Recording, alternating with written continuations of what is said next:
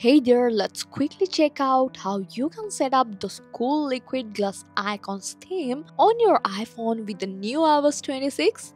It's super simple. First, you have to unlock your iPhone, then press and hold on any empty area until your app starts to jiggle. And now in the top left corner, you will see this edit button. Just go ahead and choose that. Now select customize from the menu that pops up.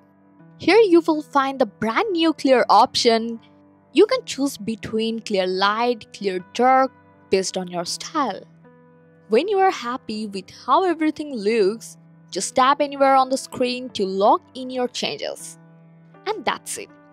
Your iPhone now has that sleek, modern liquid glass icon style. Isn't it really amazing? I hope this guide helped you a lot. Like the video and subscribe for more tips.